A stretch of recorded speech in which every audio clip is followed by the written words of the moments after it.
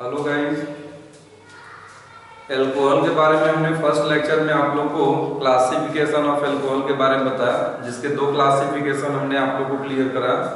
Number of OH के आधार पे एल्कोहल के चार प्रकार आप पढ़े मोनोहाइड्रिक एल्कोहल जिसका बेस्ट एग्जांपल आपने पढ़ा मेथिल एल्कोहल एथिल एल्कोहल दूसरे नंबर पे डाईहाइड्रिक एल्कोहल डाईहाइड्रिक एल्कोहल में आप ग्लाइकाल पढ़े।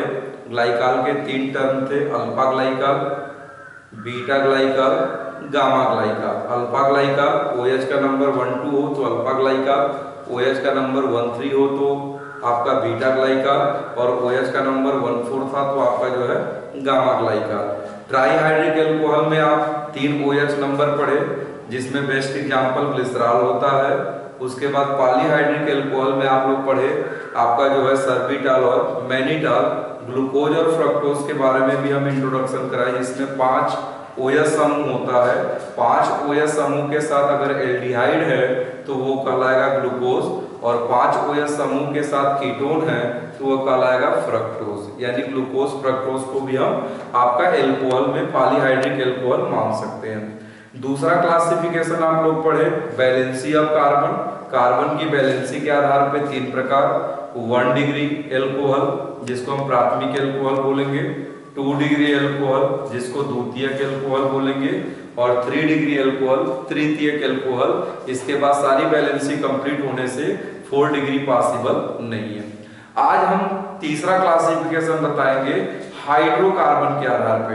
जैसा कि जानते हैं, जनरली हाइड्रोकार्बन दो प्रकार के होते हैं सेचुरेटेड यानी सिंगल बॉन्डेड और दूसरा होता अनसेचुरेटेड तो एल्कोहल में जो तीसरा क्लासिफिकेशन है, उसके भी दो प्रकार है सेचुरेटेड हाइड्रोकार्बन के साथ एल्कोहल सेचुरेटेड एल्कोहल और अनसेचुरेटेड हाइड्रोकार्बन के साथ एल्कोहल अनसेचुरेटेड एल्कोहल जैसे सेचुरेटेड में लेते हैं हम सपोज़ CH3OH जिसको बोलेंगे मेथिल एल्कोहल ये सेचुरेटेड है। दूसरे नंबर पे आता है CH3 CH2OH इसको भी हम सेचुरेटेड एल्कोहल ही बोलेंगे। पहले का नाम है methyl alcohol methanol ethyl alcohol ethanol इसमें देख रहे हैं कार्बन की जितनी भी बैलेंसी है सब सिंगल बॉन्डेड है। इसलिए ये दोनों सेचुरेटेड एल्कोहल है। अनसेचुरेटेड में चलेंगे।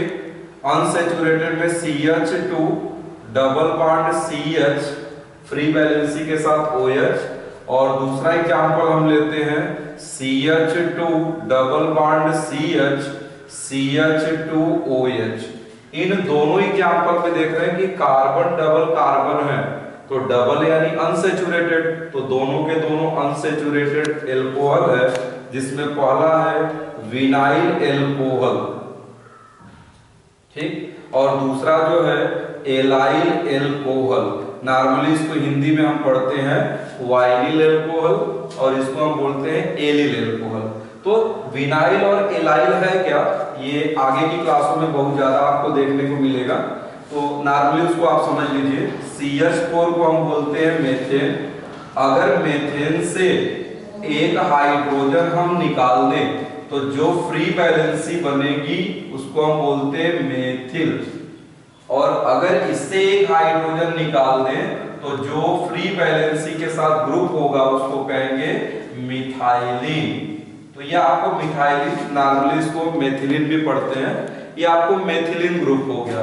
मेथेन से एक हाइड्रोजन निकलेगा तो मेथिल फिर इससे एक हाइड्रोजन निकलेगा तो मिथाइलिन इसी तरह से CH2 डबल बॉन्ड CH2 ये आपका एथीन है। ठीक? अब एथीन है इसका कॉमन नेम एथिलीन होता है। एथिलीन के बारे में आप लोग जानते होंगे।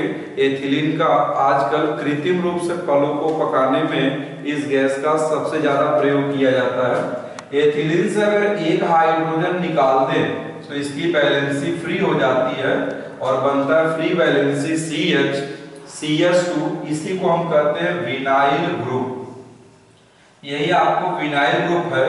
और अगर इसकी बैलेंसी क्लोरीन पूरा करे तो विनाइल क्लोराइड है, जो आगे पॉलीमराइजेशन में पीवीसी के नाम से जाना जाता है पॉलीविनाइल क्लोराइड तो अगर इस विनाइल क्लोराइड का पॉलीमराइजेशन करा दें, बहुलीकरण तो ये आपका बनता है पीवीसी पॉलीविनाइल क्लोराइड जिसका आप जो है दैनिक जीवन में उपयोग पड़े होंगे।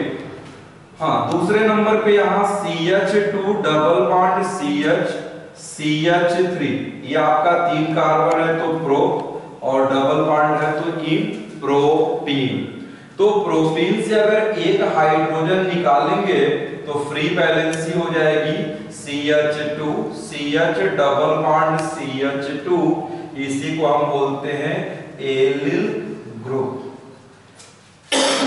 तो ये आपका जो हो गया? विनाइल ग्रुप हो गया। और ये आपका एलिल ग्रुप हो गया। यानी आपने क्लियर कर लिया कि अल्कोहल का जो थर्ड क्लासिफिकेशन है हाइड्रोकार्बन के आधार पे जनरली वह दो प्रकार के होंगे सेचुरेटेड और अनसेचुरेटेड सेचुरेटेड का मतलब कार्बन की बैलेंसी सब सिंगल बॉन्डेड हो, और अनसेचुरेटेड का मतलब हो गया डबल बॉन्डेड हो या ट्रिपल बॉन्डेड हो. सेचुरेटेड में आपने दो बेस्ट एग्जांपल लिया मेथिल अल्कोहल और एथिल अल्कोहल अनसेचुरेटेड में आपने दो लिया विनाइल अल्कोहल और एलाइल अल्कोहल तो विनाइल ग्रुप कैसे प्राप्त होगा और एलाइल ग्रुप कैसे प्राप्त होगा, इसका हमने ये डिस्कस करा लिया। नोट करना चाहे तो आप लोग इसको नोट कर लीजिए। देखिए, अब हमने आप लोग को एलिफैटिक एल्कोहल का क्लासिफिकेशन कर दिया। एलिफैटिक एल्कोहल के जनरली तीन क्लासिफिकेशन आप पढ़ लिए। नंबर ऑफ़ ओएच के आधार पर ये चार प्रकार के होंगे। Monohydric alcohol dihydric alcohol trihydric alcohol और पॉलीहाइड्रिक एल्कोहल मोनोहाइड्रिक एल्कोहल में दो बेस्ट एग्जांपल आपने पढ़ा methyl alcohol ethyl alcohol dihydric alcohol में आपने पढ़ा ग्लाइकॉल जिसके तीन प्रकार हो गए alpha glycol one two position beta glycol one three position gamma glycol one four position फिर ट्राईहाइड्रिक एल्कोहल में आपने पढ़ा ग्लिसरॉल और पॉलीहाइड्रिक एल्कोहल में सर्बिटॉल मैनिटॉल और इसमें हमने ग्लूकोज और फ्रक्टोज के बारे में बताया। ग्लूकोज और फ्रक्टोज दोनों के मालिकुलर फार्मूले सेम है। मालिकुलर वेट भी सेम है। तो हम ग्लूकोज और फ्रक्टोज को कैसे पहचानेंगे? हमने ये पहले लेक्चर में आप लोग को क्लियर करा दिया कि पॉलीहाइड्रिक एल्कोहल में पाँच अगर OH समूह के साथ एल्डिहाइड ग्रुप हो तो वह है ग्लूकोज और पाँच OH समूह के साथ कीटोन ग्रुप है तो वह है आपका फ्रक्टोज ठीक? अब देखिए, यहाँ हम क्लियर करेंगे कि जो एलिफैटिक एल्कोहल है, उसका हम नाम कैसे करेंगे? तो एलिफैटिक एल्कोहल के नाम करने के तीन मेथड हैं। जनरली आप लोग दो मेथड का नाम सुनते हैं आईयूपीएसी और एक होता है आपका पहला सामान्य या निरर्थक पद्धति, जिसको कहते हैं कॉमन नेम लेकिन इसमें तीन है, पहला सिस्टम है कॉमन नेम सिस्टम दूसरा नामनक्लेचर इसका होता है कार्बिनाल ये आपका है कार्बिनाल सिस्टम और तीसरा परिचित है आप लोग, आयुपैक सिस्टम तो इसके नामकरण के तीन मेथड है कॉमन नेम सिस्टम जिसको सामान्य या निरर्थक पद्धति कहते हैं। ये आप लोग को याद करना होगा, इसका कोई रूल रेगुलेशन बहुत आपका जो हो गया एडवांस नहीं है। कॉमन नेम में आपका जैसे सपोज़ दैट एक कार्बन का अगर एल्कोहल है CH3OH तो ये आपका मेथिल एल्कोहल है, जो मेथिलिट स्प्रिट के नाम से जाना जाता है। लकड़ी का भंजक आसवन करते हैं तो उससे एक लिक्विड प्राप्त होता है पायरोग्लिनियस अम्ल। तो पायरोग्लिनियस जो अम्ल है, उसमें मेथिल एल्कोहल पाया जाता है।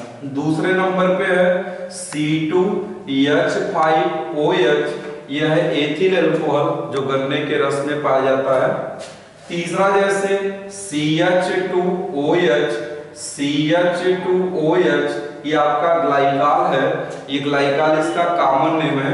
चौथा एग्जांपल जैसे ले लें CH2OH CHOH CH2OH ये आपका जो है ग्लिसरॉल है, जो ट्राईहाइड्रिक एल्कोहल में ये भी कॉमन नेम है।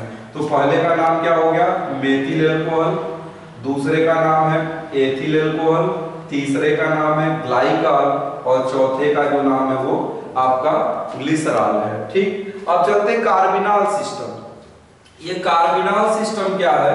तो एल्कोहल के नामकरण का जो दूसरा मेथड है, वो कार्बिनाल सिस्टम है। कार्बिनाल सिस्टम है क्या? कार्बन की बैलेंसी होती है चार एक बैलेंसी ओएस से जुड़ा हो तो उसको हम बोलेंगे एल्कोहल मतलब ये पूरा आपका हो गया एल्कोहल ठीक? अब एल्कोहल के बाद जो तीन बैलेंसी बची है, अगर वो तीनों के तीनों हाइड्रोजन से बॉन्डेड हो कोई कार्बन अतिरिक्त न हो, तब इसी को हम पढ़ते हैं कार्बिनाल।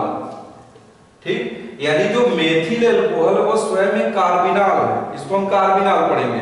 अब यहाँ देखिए, कार्बिनाल में अगर यहाँ से एक एच हट के सी एस थ्री जुड़ जाए तो आपको कार्बिनाल तो ये हो गया C O H carbinol. Carbinol के अतिरिक्त क्या जुड़ा है? मेथिल तो इसका नाम हो जाएगा मेथिल कार्बिनाल। ठीक? अब देखिए जैसे आपको सी एस थ्री ये आपका सी एच यहाँ भी सी एस थ्री जुड़ गया, और ये ओ एच तो ये तो कार्बिनाल हो गया। कार्बन और ओ एच ये कहलाएगा कार्बिनाल। अब कार्बिनाल के अतिरिक्त क्या है? Methyl methyl. दो बार आ गया तो आपको डाई, मेथिल, कार्बिनल, इसका नाम हो जाएगा डाई, मेथिल, कार्बिनल। और देखिए C H three C two H five यहाँ आपको एच है और ये एच तो ये कार्बिनल हो गया। कार्बन ओ एच जुड़ेगा तो इसको हम बोलेंगे कार्बिनल अब कार्बिनल के अतिरिक्त क्या है? मेथिल और एथिल है, दो अलग अलग ग्रुप है। तो दो अलग अलग ग्रुप अगर जुड़े हैं साइड चेन जुड़े हैं तो उसको अल्फाबेटिकली आर्डर में लिखेंगे। पहले एथिल आएगा तो ethyl methyl carbinol ethyl methyl और ये आपका है कार्बिनल ठीक है? तो ये आपका एथिल, मेथिल कार्बिनल तो ये कार्बिनल सिस्टम हो गया। एक एग्जांपल जैसे और ले लें। सी एच थ्री ये हो गया आपको C two H five O H फिर यहाँ जुड़ गया आपको जो है सी एच थ्री तो ये हो गया आपका कार्बिनल सिस्टम ये आपका हो गया कार्बिनल ठीक? अब कार्बिनल के अतिरिक्त क्या है? दो साइड चेन है। एक साइड मेथिल जो दो बार आया, दूसरा एथिल तो अल्फाबेटिकली आर्डर में पहले एथिल आएगा एथिल डाइमेथिल दो बार मेथिल है एथिल डाइमेथिल और ये आपका है कार्बिनल तो कार्बिनल सिस्टम क्लियर हो गया। कार्बन OH होगा तो उसको कार्बिनल बोल देंगे। अब अतिरिक्त जो भी साइड चेन जुड़ेगा, उसी के नाम से कार्बिनल होगा। पहला मेथिल कार्बिनल दूसरा डाइमेथिल कार्बिनल तीसरा एथिल मेथिल कार्बिनल और चौथा जो है एथिल डाइमेथिल कार्बिनल इसको आप नोट कर लीजिए। इसको नोट करते चलिए आप लोग जो है, एक क्लियर ये करिएगा कि जितने भी लेक्चर हैं वन बाय वन आप पढ़िए। आप लेक्चर नंबर टू पढ़ रहे हैं वन को पढ़ ही नहीं रहे वन को कम व्यू मिल रहा है टू को ज़्यादा व्यू मिल रहा है। और आप चैनल जब ओपन करेंगे तो उसके नीचे सब्सक्राइब का बटन है। सब्सक्राइब के बटन को आप दबाइए कि जब भी मैं नया वीडियो प्रोवाइड करूँगा तो ऑटोमेटिक आपको मैसेज मिल जाएगा कि नहीं सर, कोई नया वीडियो अपलोड किए हैं। तो सब्सक्राइब का बटन दबाना न भूलें, ठीक है? और प्रयास यह है कि भाई क्वालिटी मेंटेन करने का प्रयास कर रहे हैं। गाँव में का सिस्टम है या इतने टेक्नोलॉजी उतने संसाधन की व्यवस्था है नहीं, फिर भी प्रयास है हम लोग का।